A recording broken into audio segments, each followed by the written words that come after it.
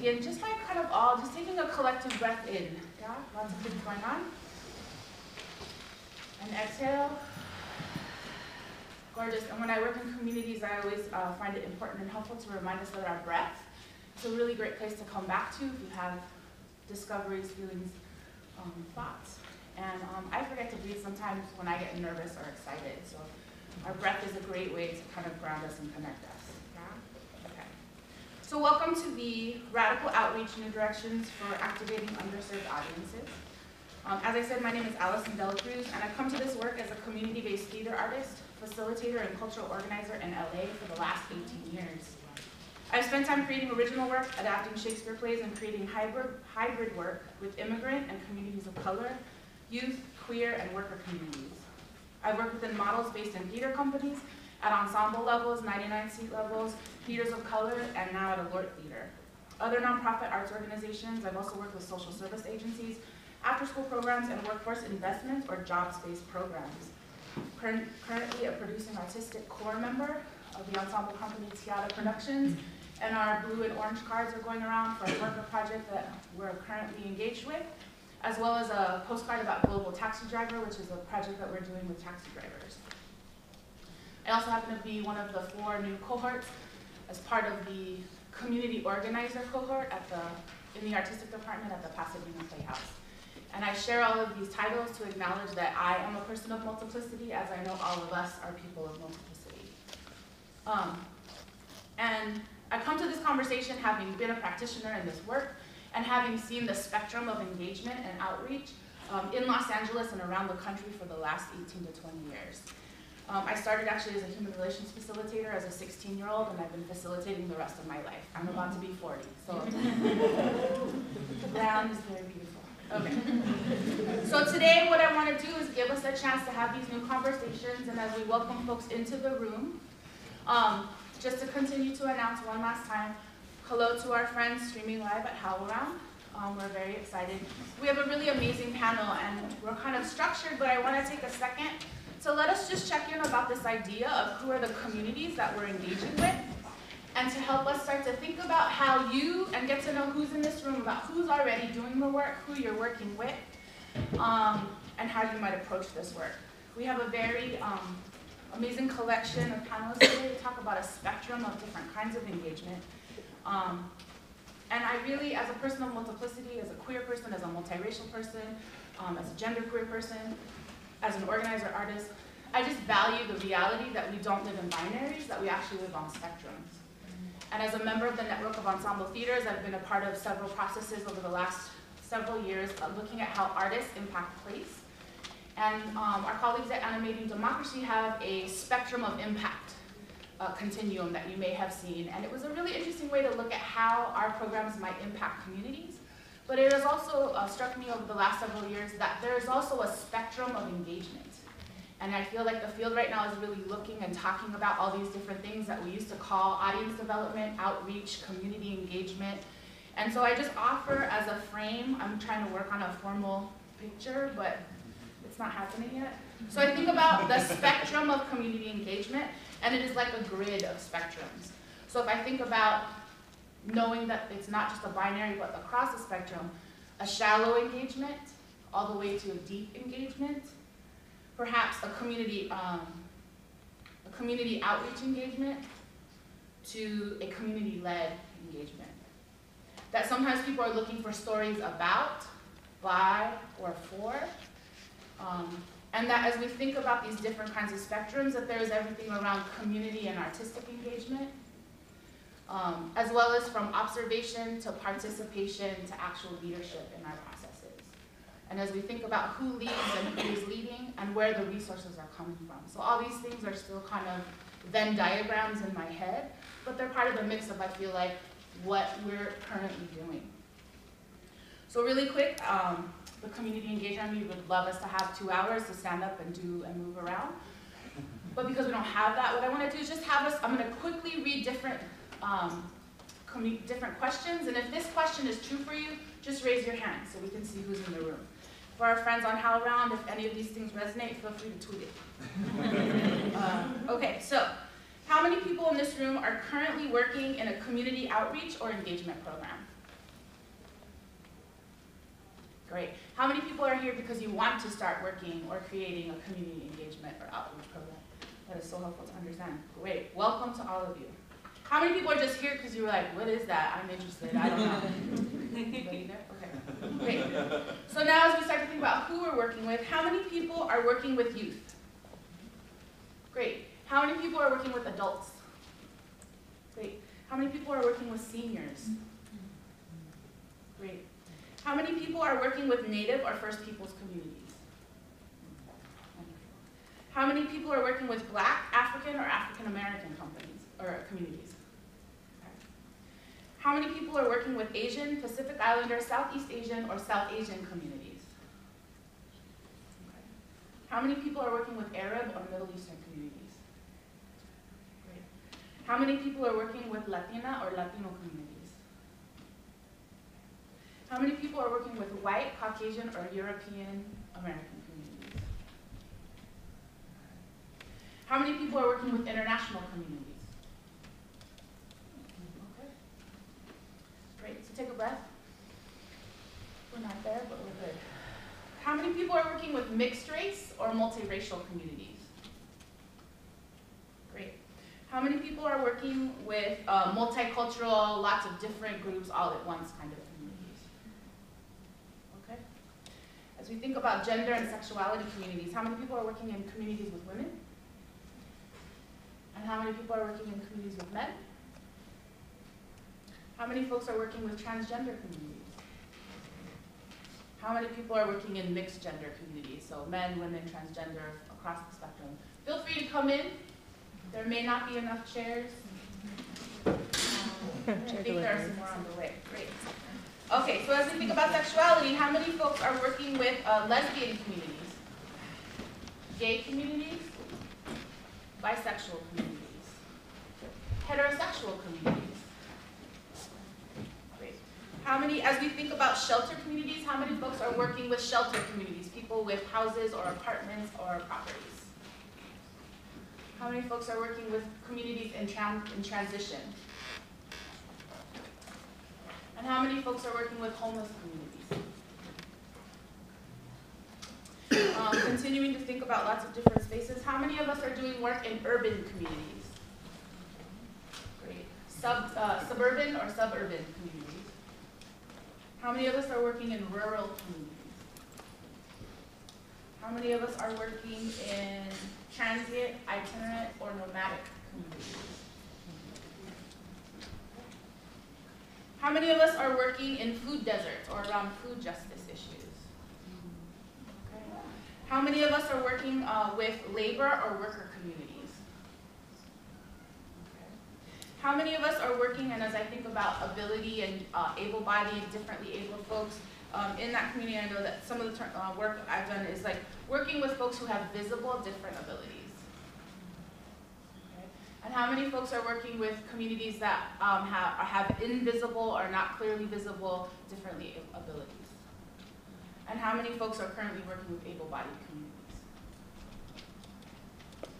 Um, and if there's a community that you work with that I forgot to mention, didn't mention, um, I would love to like, give you a second, and I really mean like a second, to turn to a neighbor and just name that, name that community. Yeah, so let's breathe in. And exhale. Turn to your neighbor, any communities I forgot.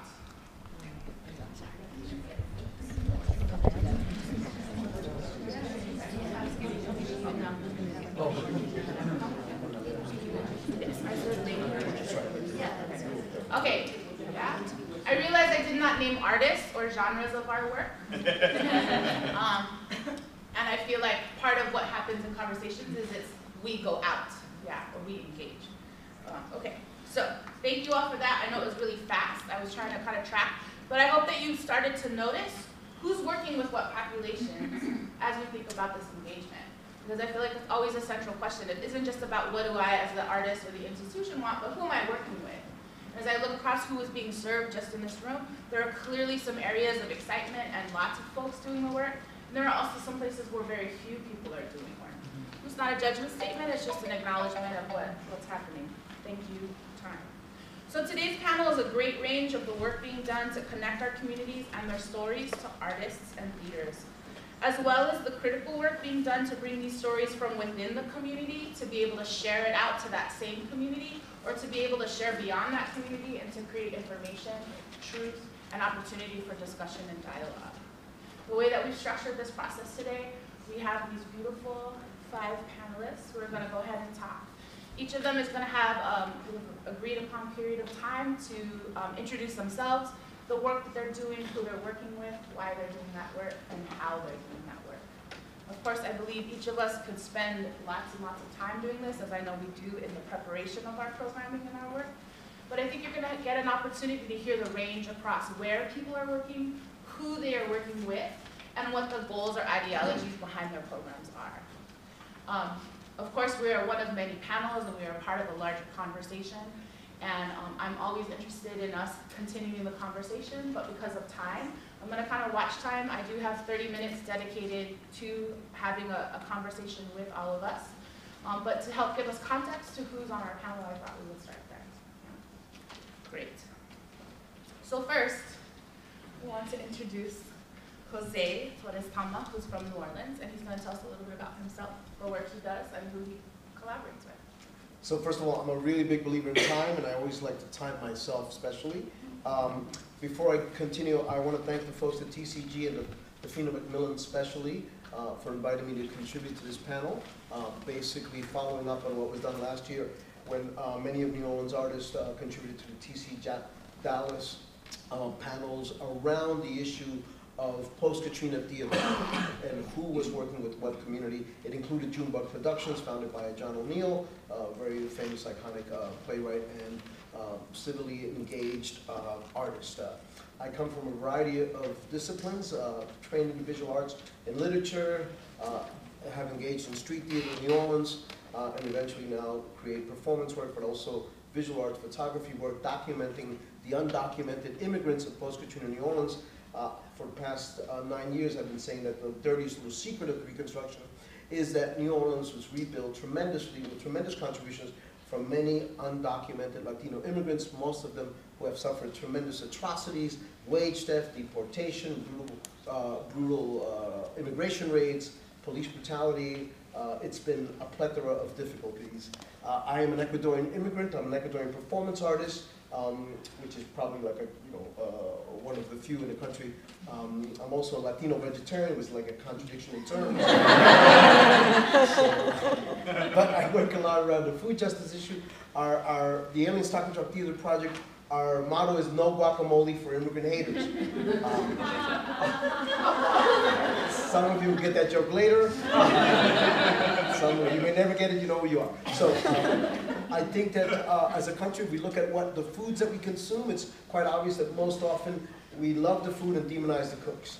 Um, with Andrea Saf, we were thinking about creating a, a, variety of these shirts, like no hummus for, um, for uh, you know, um, what is it, Muslim phobes, right? Uh, people, right? Because we can really look at how we, how we um, digest, yet at the same time, um, we have to deal with the 500-year legacy of the difficulties for the cultural other.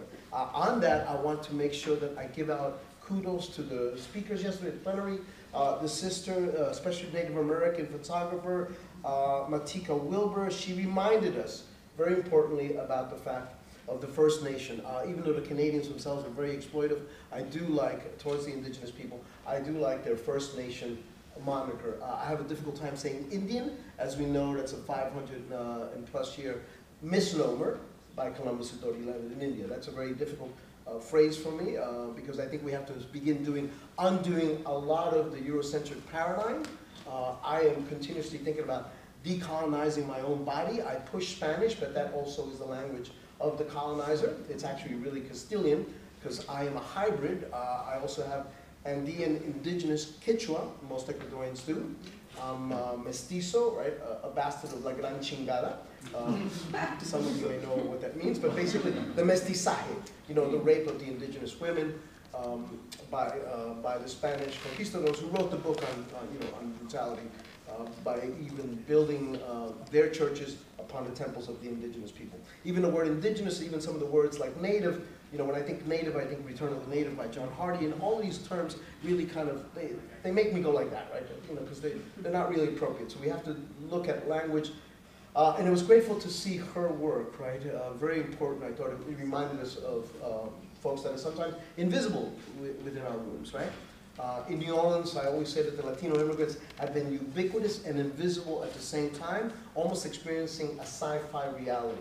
A lot of my work really exploits that, uh, that alien, illegal aliens moniker, which has been very detrimental because the first way that you exploit a people is by dehumanizing them, right? And that's the long legacy of the Eurocentric power structure here in the United States, everything from creating the three-fifths human compromise, right, uh, all the way to the idea of um, the Native American as the savage, right, the idea of the African American as less than fully human, right, that allows us to enslave people, in addition to the fact that right here, we're, we're really literally uh, just miles away from the other side of one of the great exploitation possibilities that happened during NAFTA, right? And that is to set up US corporations on the other side of the border so they can continue the enslavement and the exploitation of people, labor, predominantly brown people. I'm also a big fan of folks like George Carlin, um, who once said, um, the last time, when was the last time the United States bombed white people, right? And that was when we were uh, bombing uh, Hitler, right? Because,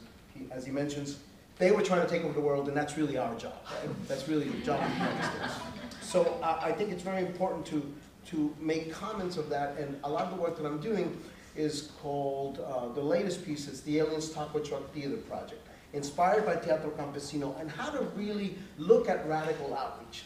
What are the outreach um, methods that are actually part of a plantation path? outreach is, you know, it's more than a, two, a one-way street, not even a two-way street, it's much more profound. How do we actually deconstruct the legacy of so many theaters across this country uh, that have been very exclusive because of that plantation paradigm, right? What does it really mean? You know, also I also want to give kudos to um, the playwright um, who said, uh, enough rhetoric, and we need to, you know, paraphrasing, we need to have more action and changing possibilities rather than the rhetoric that we're so used to. Because when I was uh, coming into the art world, multiculturalism was the sexy term, right?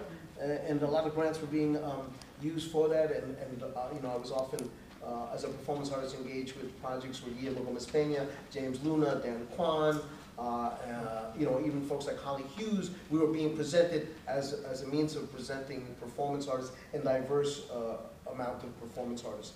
But I find that community right now is being used like a worn out basketball. It's just kind of thrown around with, with really a lack of community engagement. I have been trying to do uh, almost the impossible New and, and just documenting the stories of the undocumented. But it's gone beyond New because I've had great support from Gala Hispanic Theater, who commissioned the first piece, Aliens, Immigrants, and Other Evildoers, which is like a sci-fi Latino noir piece, right? Uh, it's a hybrid genre-bending piece, but it's looking at this moniker and satirizing the idea of the alien, of the illegal alien, which was first pushed here uh, by Pete Wilson back in 19, late 1980s with Proposition 187. It's the first time that the illegal aliens moniker was pushed into the public domain, dehumanizing the people, trying to make sure that they didn't have access to health, basically, you know, the, the migrant workers. And we can't forget, because we suffer, for me, this is the United States of amnesia. And I know that I'm talking really quickly, and I just had some coffee a little while ago. and I'm a New Yorker, and that's like even, you know, like I'm an ex-New Yorker, living in voluntary exile New Orleans, right?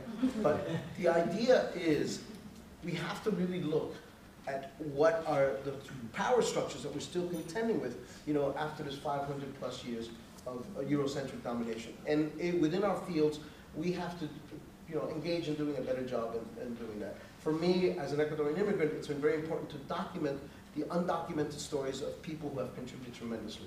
The taco truck, inspired by Luis Valdez's Teatro Campesino, is to bring the work to the community, but not, but like Augusto Boal, have the community, the day laborers themselves, become their protagonist. I'm just a catalyst, you know, and I'm working with people like Raquel Almazan, who's out of New York, and uh, the commissioners are Pangea World Theater, Dipankar Mukherjee, who's also uh, Indian from India, right? So we're creating an immigrants theater alliance, right? And that's part of the nature's how to speak, uh, you know, how to uh, uh, conduct interviews in the Anna Deavere Smith type of idea, but uh, really documenting the undocumented voices to create works, but not just by self-performing them. We're looking at having dreamers perform their own stories.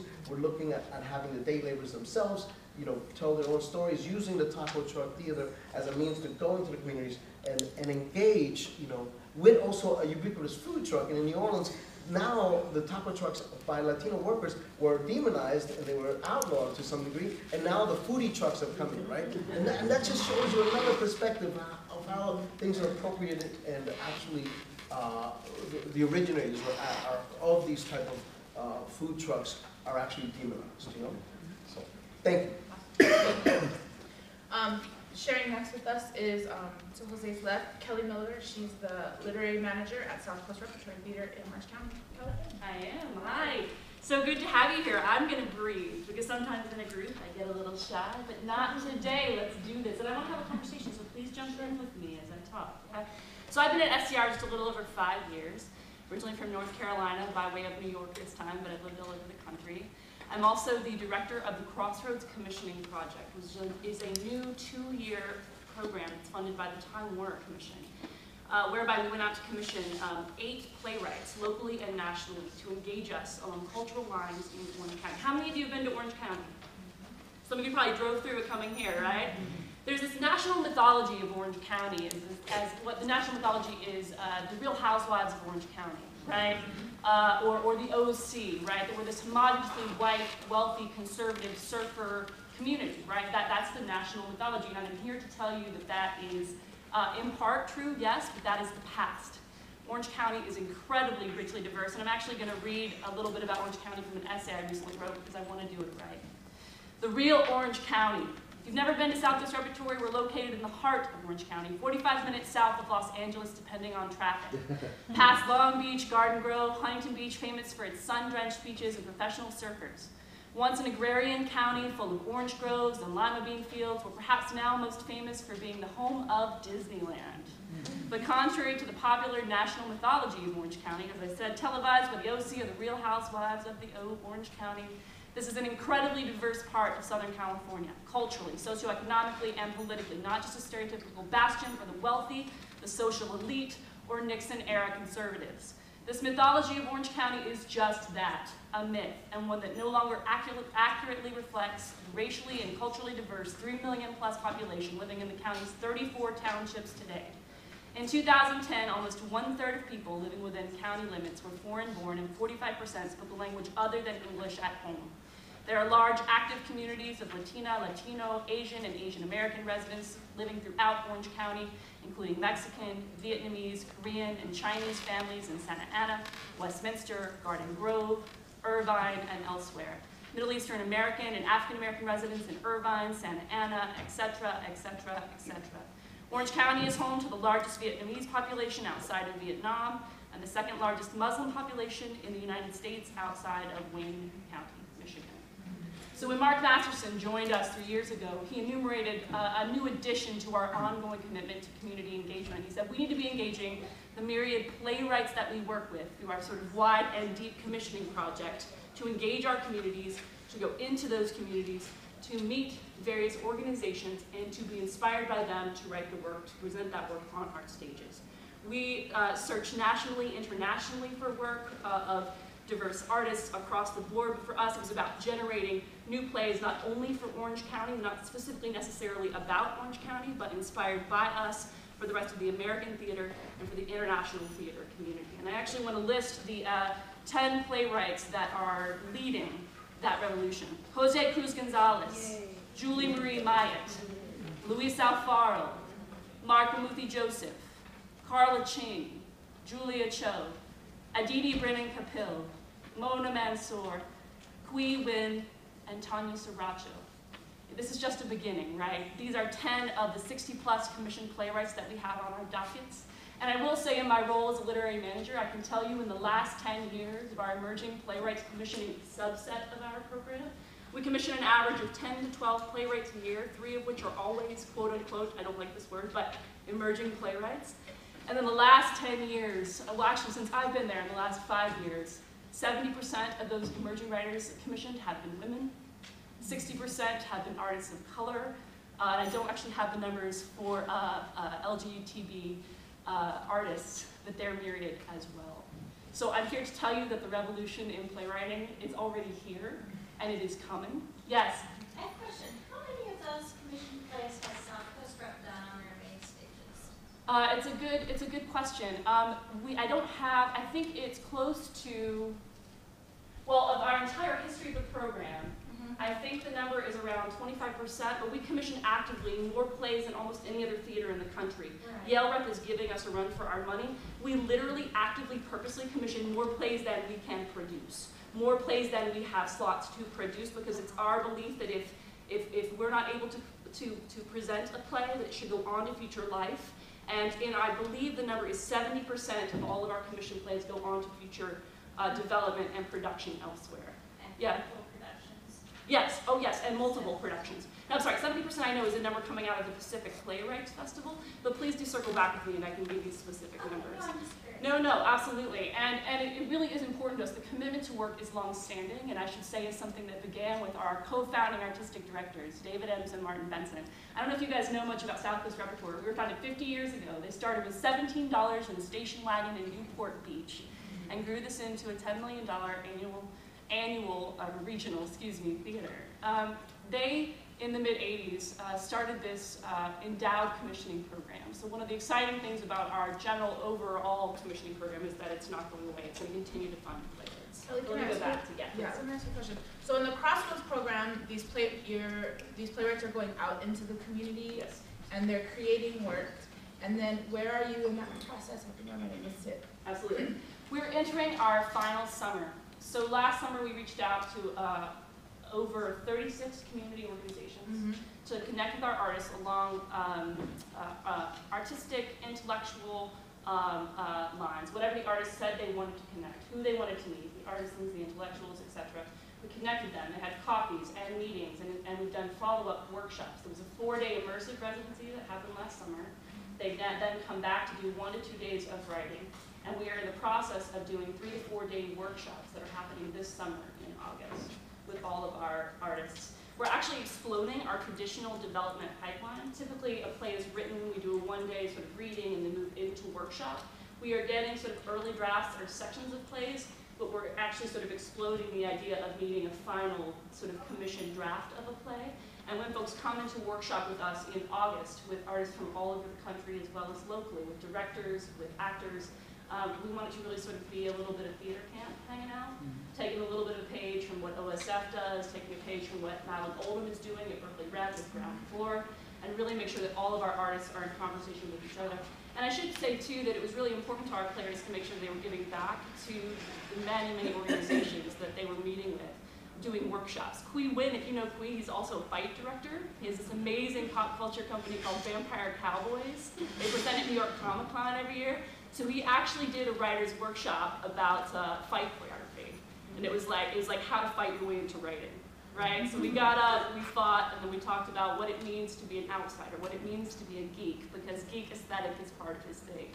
Mona Mansour gave an improv workshop about how to uh, parlay improv into writing. So our many artists um, have been working to give back as they come out. Thank you. So thank you to Kelly. Um, our next two guests um, come to us from uh, Jesus Quintero and Ramon Verdugo, are the co-artistic directors of Tijuana Hace Teatro. Welcome. We're so glad that you're here, and I know that they were part of the. We were talking a little bit about the Tijuana um, exchange that got to happen a couple of days ago. And we want to say thank you to Carlos, who's been translating, so that Ramon can fully participate in conversation. I should have been that earlier. Welcome. Please tell us about you and the work that you're doing. Hi, hello everyone. Um, I will talk to you in Spanish, uh, but uh, because uh, I'm a better uh, listener than speaker. Entonces Carlos me ayudará. Eh, hola, nosotros eh, tenemos una compañía que se llama Tijuana Hace Teatro y básicamente ahora vamos a hablar de Escuela de Espectadores, que es un programa que está dentro de uno de los cuatro eh, ejes de trabajo, que es producción de teatro, difusión, eh, divulgación y educación. Is, we have a company called Tijuana Hace Teatro, and basically what we're going to talk about is our audience school. It is one of four different programs that, that we're doing. Uh, we're working in theater production itself, and um, community involvement, education, and outreach. Así es. Y bueno, el proyecto de Escuela de Espectadores surgió en 2010 y es un proyecto de acercamiento entre el público y creadores de teatro. Son conversaciones entre el público y creadores de teatro. And the uh, audience school started in 2010, and it is a project that brings the audience and theater creators or playwrights together. It's basically a conversation between the communities and those that create theater. Okay, so every year, uh, we invite from 15 to 20 people from different social backgrounds, uh, not just social, social economic, uh, education uh, backgrounds, to become part of this uh, Escuela Espectadores or School of Audiences.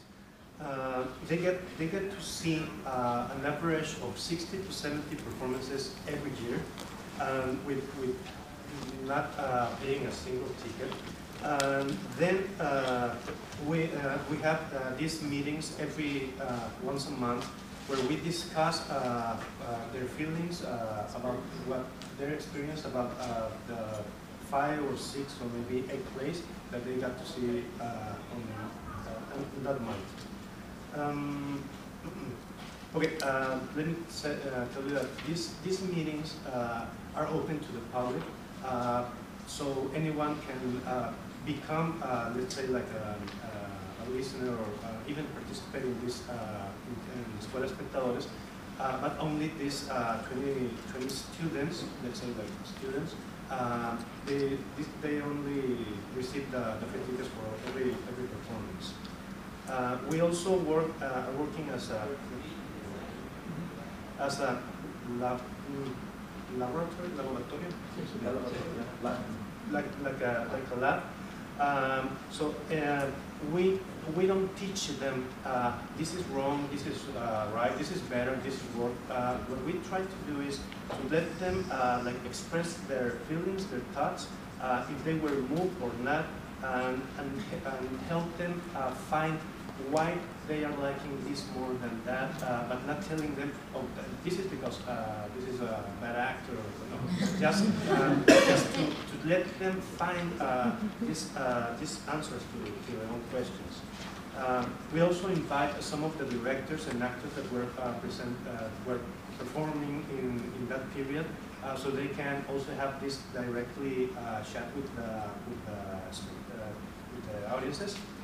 And I'm sorry. And although that uh, we, we, we are not properly a school, we call it uh, school, is like a commercial name, uh, sort of. Um, we try to uh, mm, give them some tools so they can enhance their theatrical experience and engage in, in the, in, as, as, a, as a whole community, the, I mean, the audience, with the, uh, with the, with the artist. Además, eh, estas conversaciones a nosotros o a los creadores que asistimos a ellas nos funcionan muchísimo porque escuchamos directamente al público, su experiencia directa, la experiencia de lo que él vio en ese periodo de 6 a 8 horas. Es- escuchamos cuál fue eh, una experiencia neta, sin, sin filtros. And an additional advantage is that through these sessions, for us, for the artists, for the creators, uh, help us a great deal because we get to listen directly to the public's, to the audience's experience, what they felt, uh, what they thought. We get to hear an unfiltered opinion. La manera de seleccionar o de invitar al público es que en enero eh, lanzamos una convocatoria en los periódicos, en redes sociales, en nuestra página.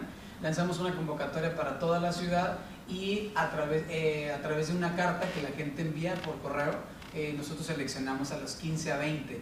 En los últimos años hemos transitado de 60 a 100 solicitudes y seleccionamos, hemos eh, de 10 a 20, así han ido creciendo. Eh, esto es en enero. En febrero, de febrero a noviembre, vemos todo el teatro. Las 50, 60 obras aproximadamente, vemos todo el teatro. Eh, aproximadamente es 85% teatro, tenemos un porcentaje mínimo también de espectáculos de danza. Y en diciembre hacemos un cierre, donde entrevistamos ahora nuevamente a los espectadores y nos platican la experiencia y podemos conocer su, su transformación, digamos. Okay, and the way this works is that in January, we make an open invitation to, uh, we do it in uh, the newspapers, social networks, our website. We invite people from throughout the city, and then we ask the people to send in a letter via mail, And with that letter, we select uh, 15, 20 people. We have increased in the last couple of years from 60 to 100 requests. And we started with 10 people we invited, now we've grown to 20. That's in January. And then February to November is when they see all the plays, the 60, 80 plays. Um, about 85% of it is plays, and there's a smaller percentage of uh, dance shows. And then in December, we bring it full circle. We invite the audience back, and then they talk to, to us about their experience, and we can know about their transformation and how they changed through this experience. Okay, uh, I, I thought that Ramon said uh, 60 to 100 uh, letters, uh, but that's uh, each year. So every year we have like 100, almost 100 applicants that to be part of this uh, School of Espectadores, uh, Espectadores. They get to see theater, not, not just local theater. Uh, in Tijuana, are uh, produced about uh, 50, maybe 60 uh, new shows every, every year but also uh, uh, theater from national companies, or regional companies, and even international companies. And that's because we have this collaboration, very tight collaboration, close collaboration with the governing institutions, the cultural institutions, and they, they participate in this by uh, giving us the tickets for every performance that is uh, being presented at their venues. Uh, So we don't ask the, the government uh, money because every time that we ask for funds, uh, they say that they are, uh, they don't have any. Uh, So uh, we, we uh, managed to, to, to bring this, this pride to them. So uh, we are uh, targeting a problem, an issue uh, that most uh, government institutions don't attend. So, and, and we are doing this because we are uh, also as, uh, we are not just promoters, we are also actors, we are also producers, we are also directors, and we need to, to, to have, uh, uh, to develop new audiences so that we can continue with our work, that we, uh, so we can, uh, well, uh, not just be maybe doing theater as a part job, but maybe uh, committing full-time to, to this job. Así es. Y bueno, una de las cosas que hemos observado es que el público, los espectadores, llevan consigo a sus familiares, a sus amigos, a la pareja, a los hijos, etc. Entonces es un poco también hacer multiplicadores de su propia experiencia. Y una de las herramientas que tenemos es una libreta.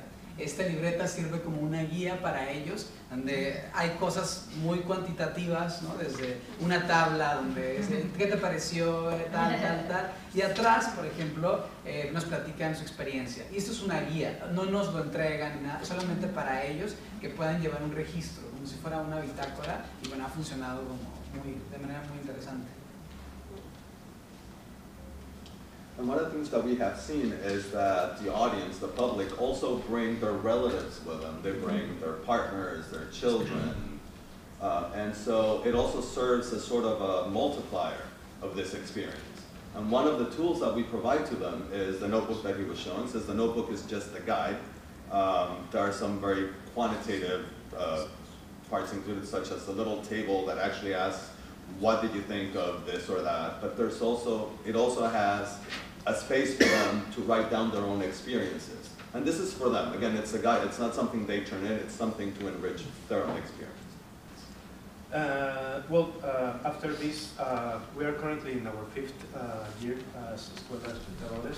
Uh, we have uh, we have more than 50 uh, students that have, graduated from, from our school, and at the best uh, proof for us to to to uh, think that we have done uh, a good job is to uh, uh, meet them at other performances years after they, they were part of this. Uh, that they are very engaged with the, with, the, with the theater, that they recognize and even know a lot of actors and directors by their name, and sometimes they, they uh, approach them. Uh, some audience, uh, audience members approach the actors and, oh, I saw you in this, this, that, and they call, by, uh, they, are, they call them by their names, and the actors get like very surprised, and the, more the directors and the people that are uh, not, not in front of the stage. Um, so it's a very, a, a very unique experience. um, we are uh, also uh, making this this like another not, not, not, not another version, uh, but uh, developing a new uh, Espectadores, but for young audiences. But this one, we cannot uh, make it without any funds because we, we need to um, uh, maybe provide with transportation for these uh, uh, for underage uh, students. Uh, so that, that's our next step. And, and, and, and in this one, we are trying to uh, reach uh, not 50 to 20 people by year, but uh, maybe 100 or more than 100 uh, students every, every year. Thank you. Thank you very much. Awesome. Are we doing questions later? Yeah, we are taking questions, and we're, we're gonna hear from Zak, and then we're actually gonna move right into a conversation in the room for about thirty minutes. I'm very clear that we all need to have conversations, especially this group of folk. So, um, great, and so I would love to introduce, um, our last panelist today, Zak Berkman. He's the producing director at the People's Light and Theater Company, um, just outside of Philadelphia. Thank you. Um, so somewhere around the chocolate uh, fondue last night, I started losing my voice. So um, what I feel really good about is since a number of you I recognize are doing extraordinary, radical, and whatever you want to define it work, that if for some reason my voice does go, I feel like I can go like this and have you start talking uh, about your programs that are really uh, inspiring and extraordinary. Um, what I'm talking about is New Play Frontiers. Um, and uh, the one thing I want to sort of preface is People's Light Theater, and I don't know how many of you know about People's Light. Uh, we are roughly around 45 minutes outside of Philadelphia. We are the only professional theater in Chester County. Uh, our budget size, and I think it, it does obviously have lots of implications about lots of things, is, is a little over 5.2 million, 5.3 million. Um, we produce eight plays a year. We have uh, extensive arts education programming, um, and we're nearing our 40th season. And throughout the history, throughout its genesis and its long arc, there has been a commitment to community, uh, to trying to grapple with barriers of economics, of transportation, uh, working with young people, work on their stage as working community. Um, and it was this history and, and this commitment um, that, that led when I joined the company three years ago um, to a series of experiments that in, in many ways New Play Frontiers is the intersection of a marriage between um, in a recommitment ceremony, sort of, uh, between our theater and what is a very rapidly growing county. Um, I, I think we're the fifth fastest growing county, uh, I don't know if it's in Pennsylvania or the United States, in the United States.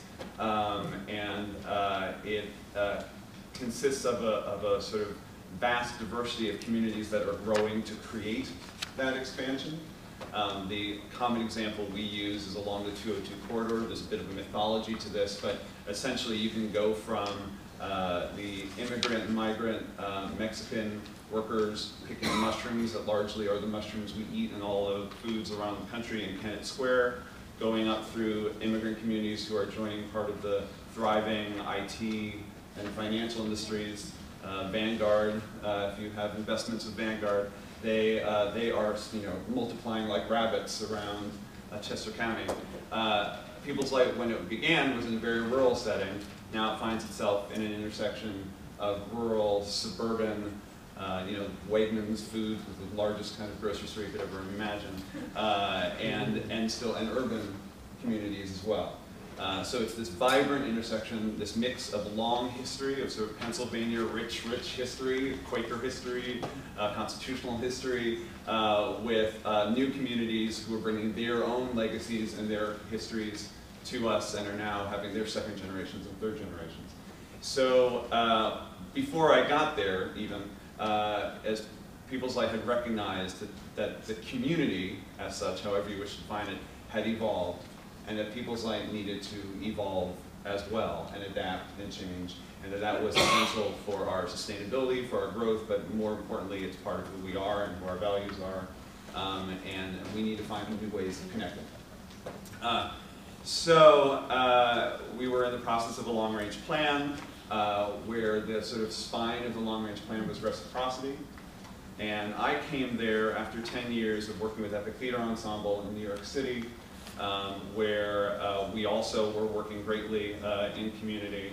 Um, and a part of a laboratory actually between artists of Epic, artists of People's Light, and artists from the National Theatre of Scotland, with whom we've had now a multi-year partnership and relationship with, who do a lot of extensive work.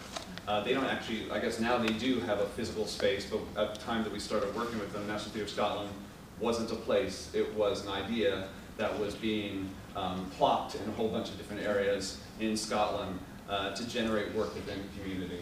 So their methodologies, EPIC's methodologies, People's Light's methodologies were then shared in a two-week laboratory with 20 teenagers uh, from the area as well um, to start trying to sort of cross-pollinate and, and think about things. And through the development of that project, I ended up at People's Light.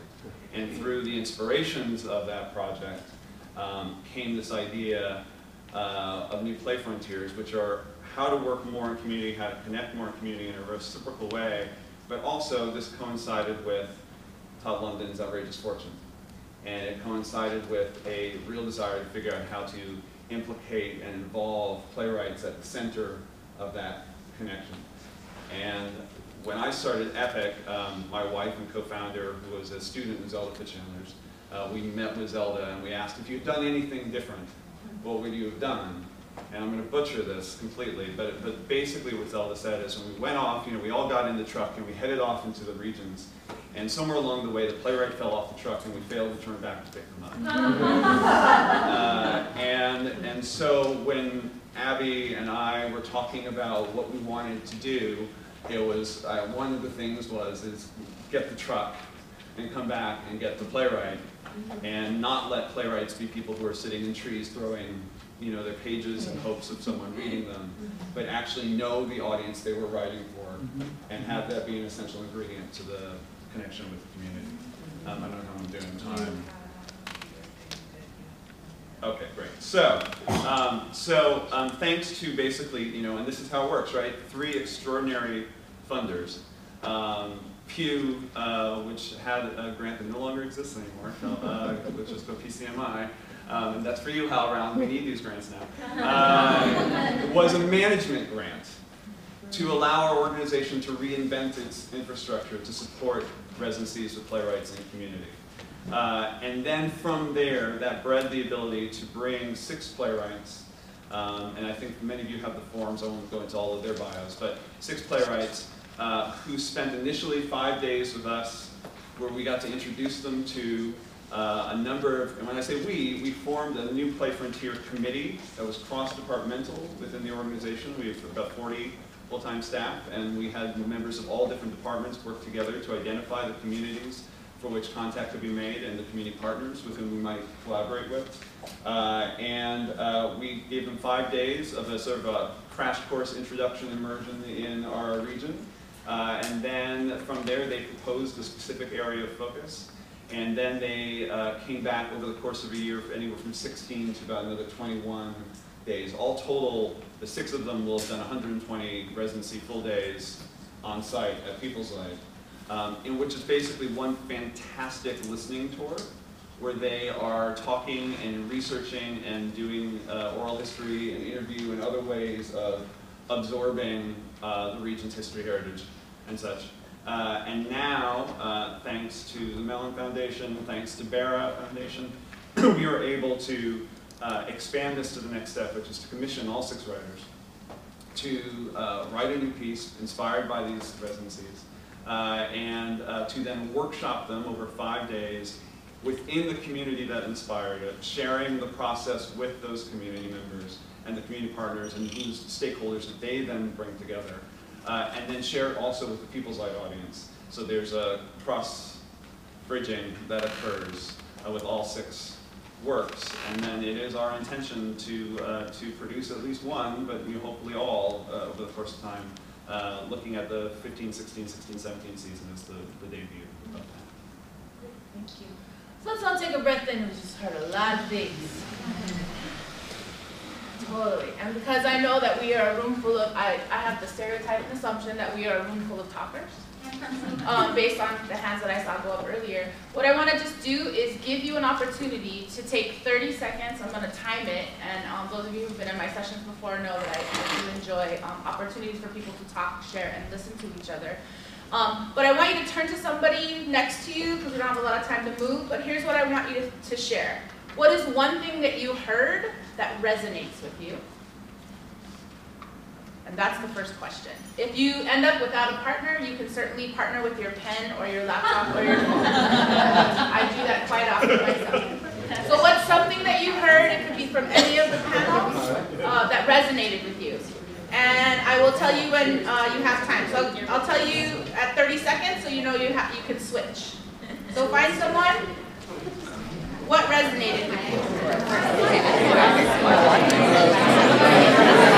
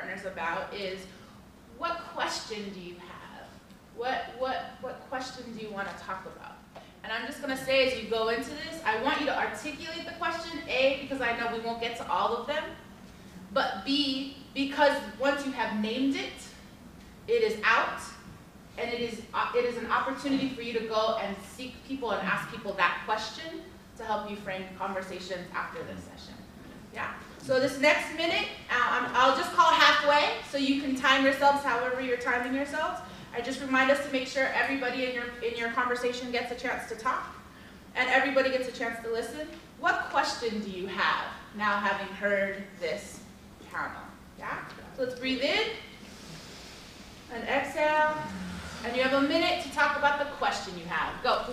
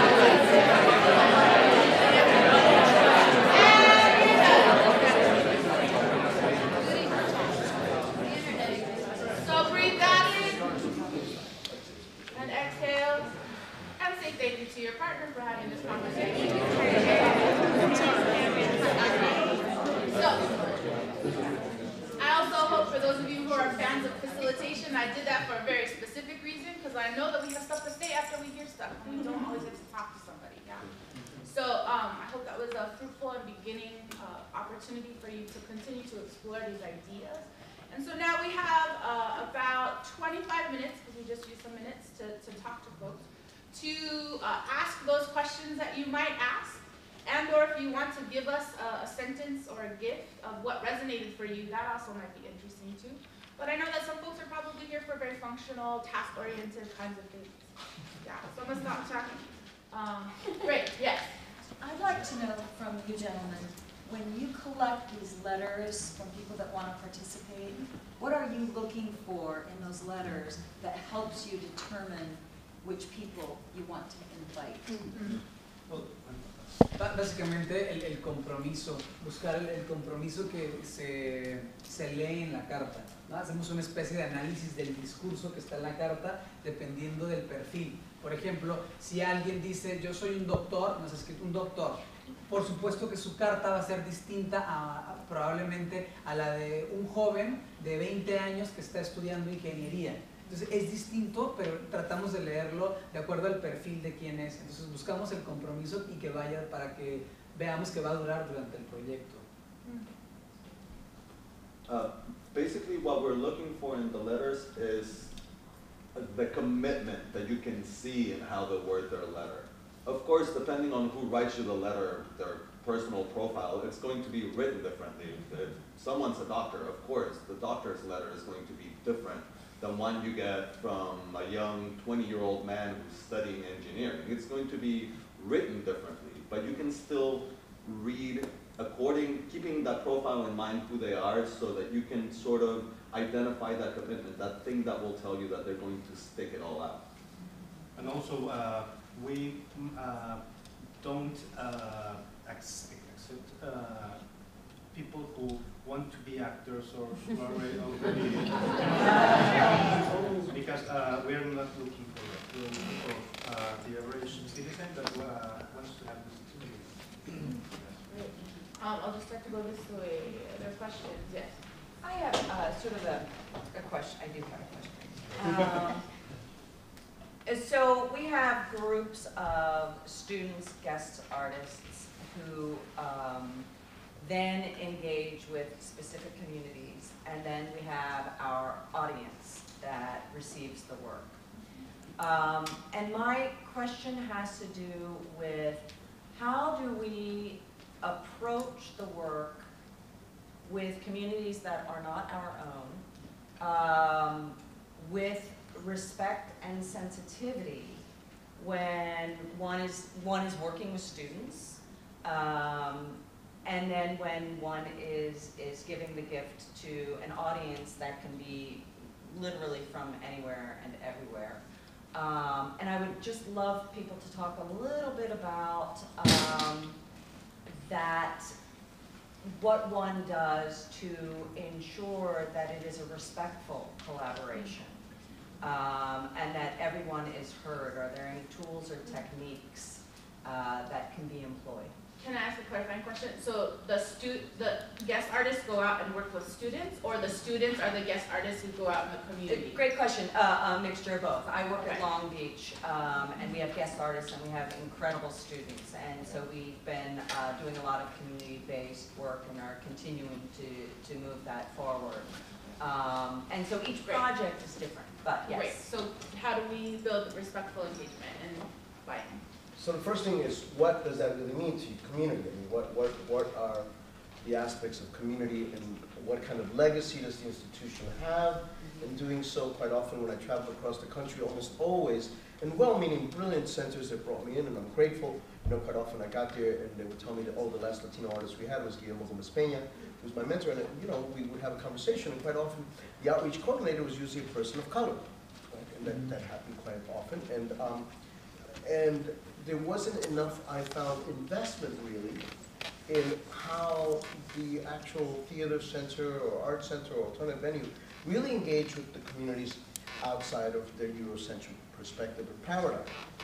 You know, uh, La Petite Theater in New Orleans, uh, maybe once every five years, we put on fences, right? And then they look, they're looking to try to reach the African American community, but they don't have a real legacy of putting forth a, a lot of African American playwrights. And um, so I think the, the amount of investment, real genuine investment, that you have and engage that community rather than just like offering them to come to your house, what do you do to go to their house? To really engage, I just received something from the New Orleans Fringe Festival, and we've had some discussions about the fact that predominantly what they present, you know, is a lot of post-MFAs who have come from- to New Orleans, who, who want to be part of the, uh, the thriving post-Katrina theater scene there, but really a lack of connection to the, uh, the African-American community, certainly the Latino community, and they asked me to be, a- you know, to like, oh, can you inform us, you know, on what other Latino artists there may be, because I'm deeply connected, but, you know, they don't go to the demonstrations of the immigrant laborers.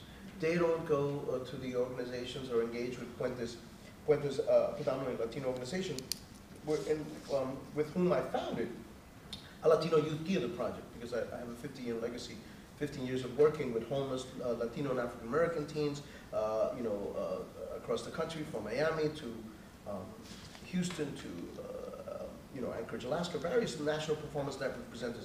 But again, it's what kind of- of investment is there really, you know, like someone said, if it's not in your budget, you know, uh, it, uh, I think Mr. Brocher said something like that, but uh, it's not in, the- in your budget, it's just talk, but it's gotta be more than that, right?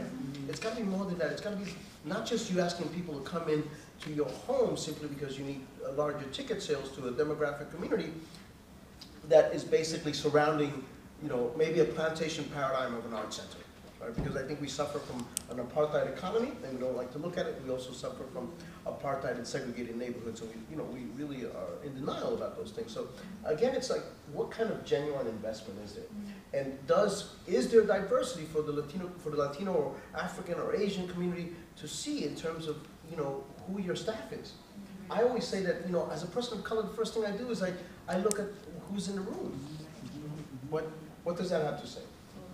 I Kelly. Yeah, I just want to add on to, it, because I actually, in, in trying to get crossroads across to you guys, forgot to mention the other phenomenal revolutionary project happening at South Rotary called the Dialogue Dialogos Project, headed up by Sarah Guerrero and Jose Cruz Gonzalez. And ostensibly, what they are doing is taking the cornerstone methodology and applying that within a major regional theater. And I invite you to reach out to them because they are doing exactly that. They convened a series of 12 story circles across different uh, Latina, Latino health access organizations across Santa Ana. They provided music and food and daycare and literally uh, did, did uh, community organizing events, or uh, sort of exercises and artistic exercises, and then did story sharing. And from that, Jose Cruz Gonzalez, our playwright, collected stories. Then we moved to a series of workshops, artistic workshops, improv, stage combat, puppeteering, acting, directing, so that it was then, hey, come join us, play with us, share our craft. And then now they're moving into the final phase of the piece where Jose Cruz Gonzalez has written a site-specific piece about change, about hope, about future that will be presented in Santa Ana in September. And so much cross-pollination has happened between our two programs. In fact, when we get to the point where we have plays that are ready to be seen and shared in full, we will do readings at South Coast Repertory and also in the community. Myriad readings. It's important to exist in both spaces and to be mm-hmm. speaking to both audiences and to, to merge them and to be sort of as omnipresent as you can be. Mm-hmm. And I would just say, and then we're gonna go this way for questions. I feel like that question is really helpful, and I feel like part of what I have seen be successful in terms of creating respect is just the way that you would give respect to elders or scholars or people that you honor. How can you learn, how can you listen, and how can you learn the most about the community you want to engage with? Who are your community leaders, and are they willing to talk to you? And if they're not, is that because of some of what Jose was talking about, or what are the barriers that prevent people yeah, I really feel like if the if you as an artist or an institution wants to be the bridge and go in, you I really believe you have to enter with a generosity of spirit and a generosity of ignorance. Like and to understand that it is not your it is not the job of your new community partner to educate you about them, but it is your opportunity to begin to do the internal research and think about talk about what does respect look like in our institution. I had a conversation with some friends from uh, Center Theater Group about when they have audiences with different abilities come to their shows, the, the multi-tiered and leveled engagement they have to do with staff, from front of house to box office to ushers. as well as to folks in the office who don't understand infrastructurally the different needs, and at different times, different people don't have the patience. Well, that's somebody who's deaf, don't they, or, or, or that's somebody who's blind, don't they want a hearing device? It's like, no, let, allow people to make their choice. Um, and I think that's the other thing is that these boxes that sometimes I feel like we want to create are the very boxes that prevent us from seeing what's actually, there's already a container. And it may not be a box. This community may envision its container as a spherical, triangular pentagon of some sort. and like, what does that even mean? I don't know. There's going to be words that we use that aren't don't mean the same thing. And respect looks, feels, sounds, tastes, touches differently in different communities. And so, what do we do to be purposeful and intentional and clear that I may not know, but I, I know enough to know I don't know, and I know enough to know that it is also my job to learn, and I'm here to listen. And I feel like for me, that's the biggest moment I have with different folks who are asked, who come to me and say, oh, I want to do a project with the Asian community. And I want to have all these different languages in the room. Okay, well, do we have money for translation? Well, no, they should be able to join us. Yeah, we're not going to be in a room with multilingual API folks if we don't have multiple translators mm-hmm. going at the same time. So, and then to think budget-wise, what are the needs of this community? And how do I make sure I build it into the budget so I'm not complaining about how much translators cost? But your program's about working with multilingual communities. Translators need to be in your budget. And this, and I'm gonna say this. the, other thing is that the, the translation devices, I can't tell you how many immigrant communities I work with in LA where we scramble to share the same 45 pieces of equipment in Los Angeles.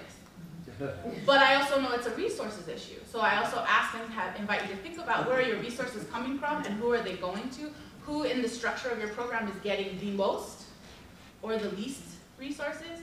And I think it's been said, if you are not putting resources towards foods and ho- food and hospitality, you are not going to get it. Also, I do want to add too, because I feel like you've heard us say different things about these foundations, and do not let a lack of foundational support stop you from beginning the work that you want and need to do. Because 98, 99% of the money that we got went to our artists, as it should, for their commissions, for their travels, for their hotel, for their per diems. I had a, a very small contingency budget for meetings, but that didn't stop us. Start small but think big. Meet for coffees, meet for meals, break bread together. That is universal. That will inevitably deepen the conversations that you begin. You don't need hundreds of thousands of dollars to support this work, but yes, ask for it. Ask for that money.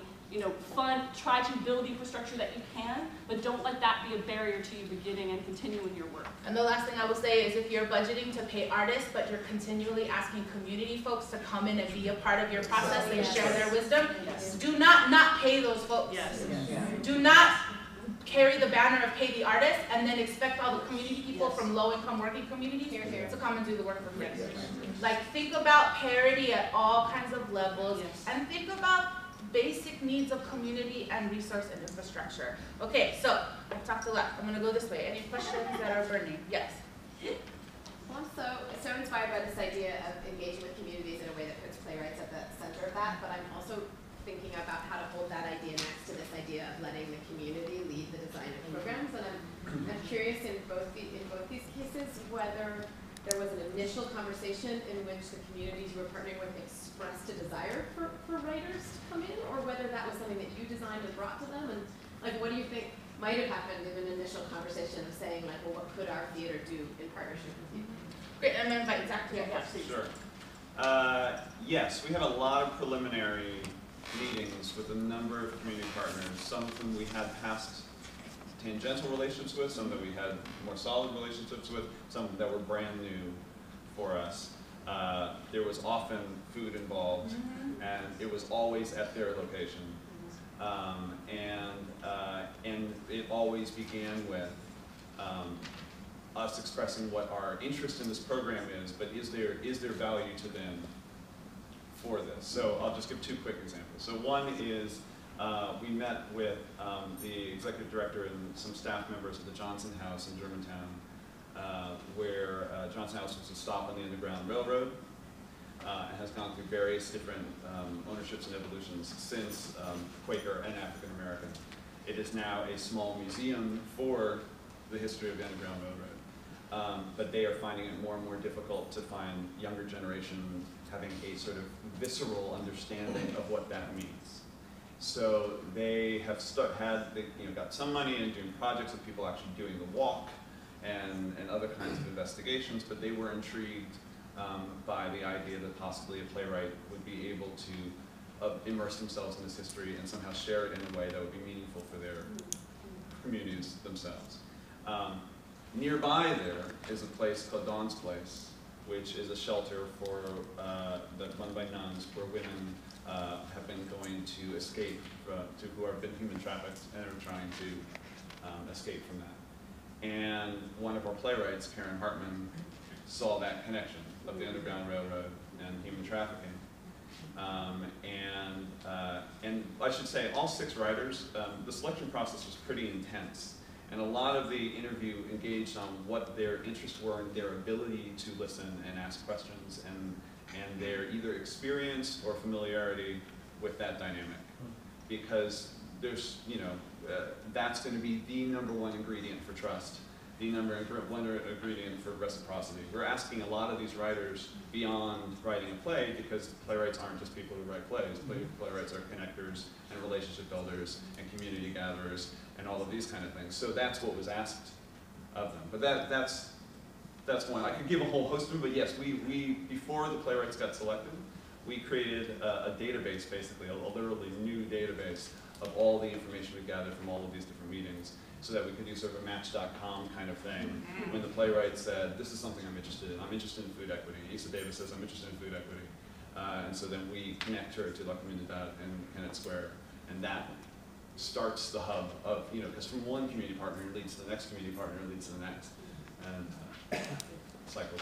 Cool. So, just to that, so in relationship to that, the organization Puentes New Orleans, uh, that was founded post Katrina simply to try to meet uh, the needs of the, the growing Latino immigrant community, but also the long Latin legacy that there is in New Orleans, right? So they had come to see my work, and uh, when, I, when I was developing Aliens, Immigrants, and Other Evildoers, and as I'm developing a new one, the Aliens Taco Truck Theater Project, I just made sure that I connected to whether it's the pastors in the Latino churches or the organizations, and when we met with them, and they came to see the show, they said, you know, we have a program where um, we're trying to create a more uh, solidarity in the suburbs of the schools of New Orleans, which are in Kenner and Marrero, where they have Dominicans, they have Hondurans, they have all a variety of uh, Latino immigrant youth. And I just went out there and we did some day theater things, and then it spawned from there and said, would it be possible to create a Latino youth theater project? And I said, surely. But this was one where they came in and they wrote the work, and I transformed them into performance artists. I just guided them, right? I guided them and, and made them aware because a lot of them were interested in theater and they thought, well, what play are we going to perform? And I said, no, we're not performing a play, you're actually performance artists in this process, and that is that you're going to write the work yourselves. And they did, and it's a very successful program. Now, we've been funded by the Jazz Heritage Foundation there, and uh, it, they've increased the funding. That's helped tremendously. But that was born out of just an organic relationship of me reaching out to them to, to try to get the word out to the Latino community as they had become very important, and, and also reaching out to a variety of folks that, and, and a pastor, for example, later summer, I'll go and I'll perform the unplugged version of one of my theater performance pieces, right? And for the community, and then look to see how I engage their voices so not just being like uh, an outside force or a playback, but actually looking to have them engage in creating their own work. For me, that's the, very much the Augusto Boal strategy that, that the community themselves can be the best protagonist uh, for their, their concerns. Um, and now that we know that Rebecca has that question, I invite Kelly and Rebecca to, to talk together offline so to hear that answer. Um, Lisa. Um, I'm uh, I know there's not much time, and this is a big question, but uh, I'm, I've been interviewing homeless people all over the world for about 15 years, and now I'm at a stage in my work as a playwright where I'm trying to turn that into the presentation. Um, and, and I, but I found, um, I, I come from a background of doing solo performance character work, but I found that some of the video interviews I've taken are far more compelling than what an actor can reproduce. And I want to create a multimedia piece that is site-specific and engages the homeless community. I wonder if any of you guys have opinions about that from your own work that you can give me advice or, or help me in the stage of moving into that presentation aspect and, and whether you have an opinion about using the video or, or using actors. Before I invite the panel, let me ask um, we, earlier in the room, I asked how many folks are working or have worked with homeless communities. Can you raise your hand? So just to see who might be a resource in the room, to also have conversation with. Great. Um, I would say look at the LAPD, not the police department, but the actual, yeah, uh, uh, the work that, um. Los Angeles Poverty, Poverty Department. Yeah, brilliant work. Elia Arce used to be engaged with them as well, but now, um, and I'm blanking out. John Milkey? Yes, um, and, uh, his partner, right? John who? Mal- Malky. Malpede, M A L P E D. And his partner, right, uh, they're, they're, uh, they're, they're doing, they're doing work around this issue, and actually, when Elia did her work, she actually engaged, and Elia is the kind of performance artist that engages and goes through, to, you know, guides and trains, uh, or just guides, I hate even using that word training, you know, just guides, um, the, the folks to do their own work, um, because that can be really challenging. I mean, there's always the process, the Deavere Smith process, where you might look at this and transform yourself, but there's nothing like hearing the genuine voices perform their own work. And I think that's where we're talking about a different type of empowerment. You know, where, where you know, you're not just the, the playwright as the imposing uh, participant, but, you know, looking to engage them in a more fully uh, engaged and empowering production because people really need to, to tell their stories. And they, I know as part of their work, have grown a network of the, they have an artist network within uh, the LA Skid Row community, and they put on a festival, and they help people create electronic press kits and CDs and samples like that. So I would definitely say, like, it sounds like your instinct is moving towards wanting to let authentic voices be heard in the way in which they're spoken, and that might actually be an interesting tool. They just did their Walk the Talk. Uh, every two years, they do a Walk the Talk uh, piece in Los Angeles where you actually walk through Skid Row and do something. They just did it, I think, like a month and a half. Uh, LA Poverty Department. Uh, I would also say, though, that I'm sure there are many people here who have, that, uh, there are release forms that Cornerstone works with, that we work with for Dialogue Dialogo, so that everyone who came in, somebody will be taking pictures, will be collecting stories, and they were made very aware as they came into that process with Sarah and Jose, sort of what the process was. So I invite you to reach out to me, and I can connect you to them if you want to look at active models of how to let members of your community who are collecting stories and in conversation to make sure that they're aware of, you know, the potential collection of stories right? It's important, I Just think. really briefly on that, the, the ethics of the illiterate and release forms. Uh, yeah. And then, and, and as a way for, I think it's not just about the illiterate, but I think it's looking at release forms and the language and the availability with which they're in. And to think about accessibility beyond just the words, but some communities need to have visible um, tools. And so, yes, maybe someone sits and reads the consent forms. Like, think about all the ways you can create access in your programs for people of multiple learning modalities and engagements and language um, accessibility. Yes? Okay, we have about two and a half minutes for this last question. Yeah, just a quick statement that um, I also, I'm so encouraged to hear these different strategies, and I would also just encourage all of us to think uh, intergenerationally and go back, because John O'Neal and Junebug and the story circles are 30 years old, mm-hmm. and not to say that they that invalidates what's being done now, but I do feel that there's a lot of history that's been lost mm-hmm. in terms of models that were working very well 20 years ago. I think about Robbie McCauley doing a project called Yes. the Underground Project at mm-hmm. Penumbra that was about the Underground Railroad, and we went into the, there was native, Asian, black, white, poor, rich like communities, all of whom had a member who was part of the project. We went to their homes for dinner, we sat, we heard stories from their families, then we put together the piece and they performed the piece with professional actors and Robbie on stage too. And that was 1995. So there's stuff that worked super well, but because of this aphasia, this United States of amnesia that you talk about, we forget it. So I would just say, enc- like, go talk to the old folk too. And thank you for Just to say the field lacks documentation is How can we create? Unless, unless there's a larger body of text that explores the different strategies, because I'm a big fan of Robbie, Col- Robbie McCauley's work, and unless there's a text, a book that explores how these community engagement processes that I've done before can actually help to educate us now. Writing it down. Yeah, we're, I'll no, let them no, it also you should need- exist on yeah. TCG's new website. Like, Yeah. we need, we need to have a place, a common place, like the Commons, right? How On the around- American Theater website, yeah. Yes. So, great. Um, so I want to acknowledge and, and just ask, um, is, does anyone else have a question for um, Ramon or Jose? I actually wonder if you could talk a little bit about, um, in this process of working with audiences, and it's, and what I heard you talk about in the, in, in your presentation was that the other theaters that they go to see actually donate the tickets so that folks don't have to pay for that.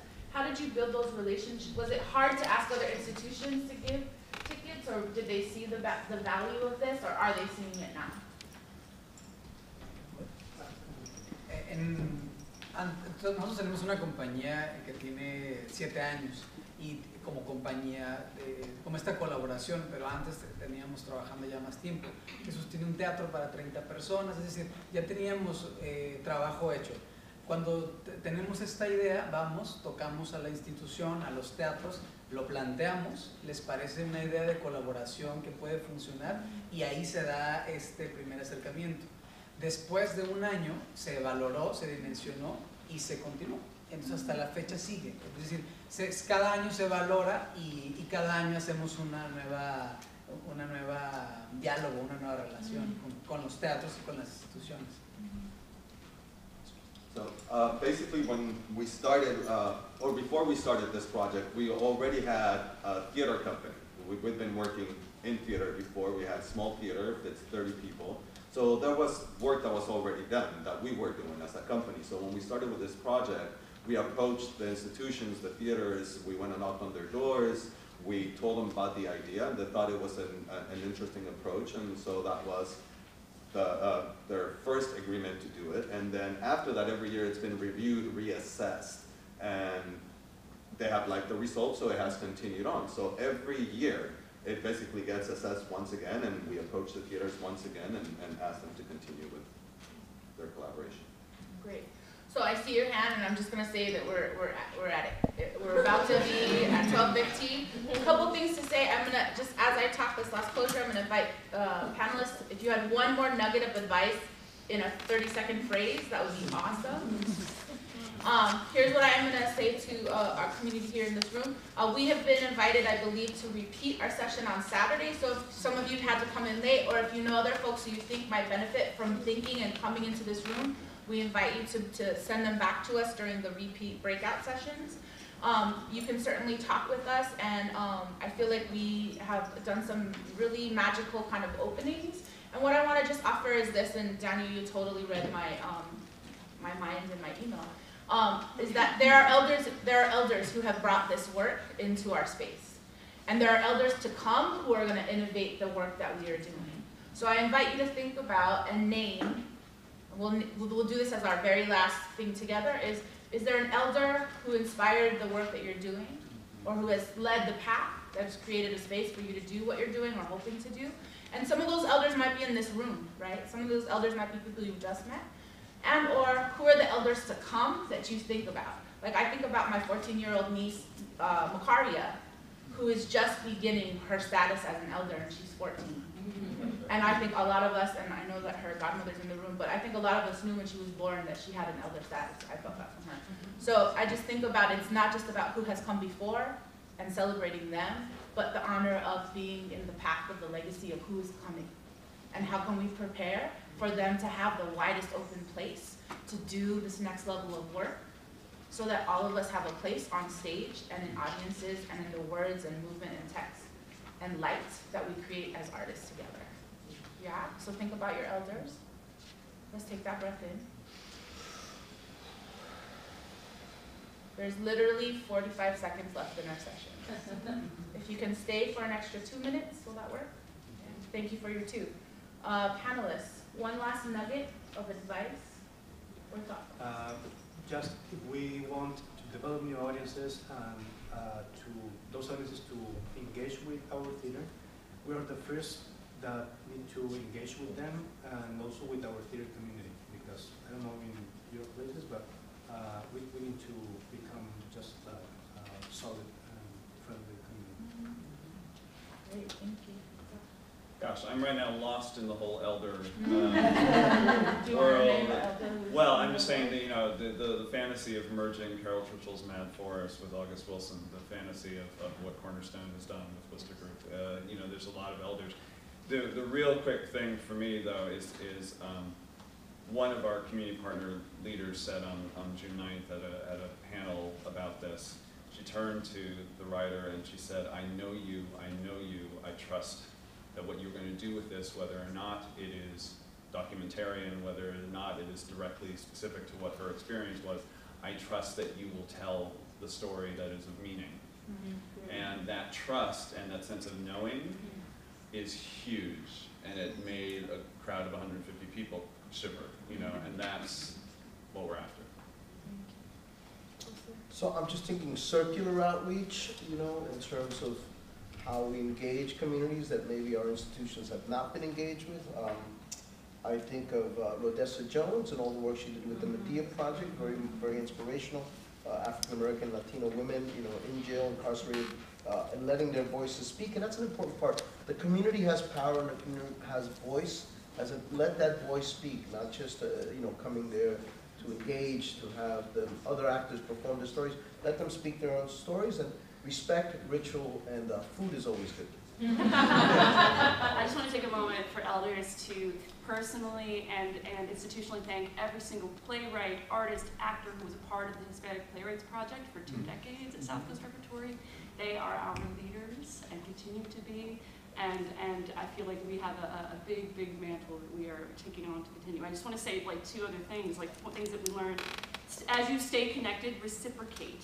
Yes, build an email list, Facebook, Twitter, build that community in, across myriad platforms and make sure, as you said, pay your community artists, your community members, do everything you can to support reciprocally. If you don't have money, make sure they have theater tickets, invite them to all of your shows, give free artistic workshops, show up reciprocally to support their events their galas, etc. And also start small but think big.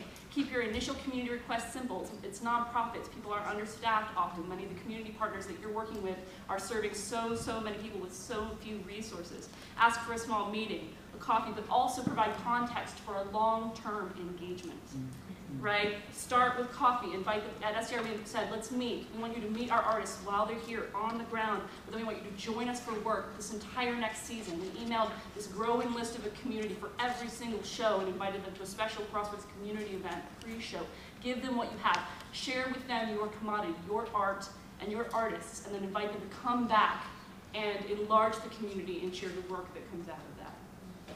Great, thank you. So, and I'm, and I would invite you to think about what is the one nugget you would offer to someone else. And I invite you as we exit the room after we say thank you to elders uh, of before and to come. I invite you to share that nugget with someone, if not from this room, then someone outside of this room, because this is an ongoing, uh, intense conversation, uh, I believe, within the field. And so I hope that we share that. And kudos to Alison. Um,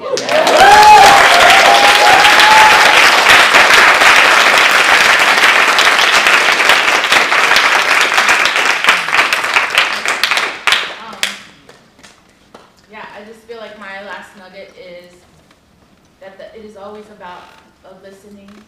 It is always about a sharing. And if you're talking more than you're listening, maybe it's time to listen. yeah? Cool. So um, I would love us to breathe in all the gorgeousness that we heard. And exhale. And before we give thanks to Elder, I do want to really give thanks to the two people who've also been working in different capacities for us. Jamie from uh, HowlRound, who's been live streaming. And Carlos, our gorgeous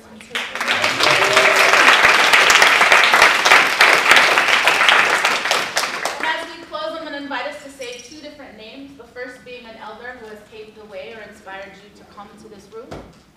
And the second being an elder who is to come. Yeah? So let us breathe in. And exhale. And now I invite us to share the name of the elder who's created the path. Gorgeous. Breathe in those elders. And exhale. And lastly, I invite you to say the name of an elder who is to come. Glorious. Thank you all for coming. Have a beautiful lunch.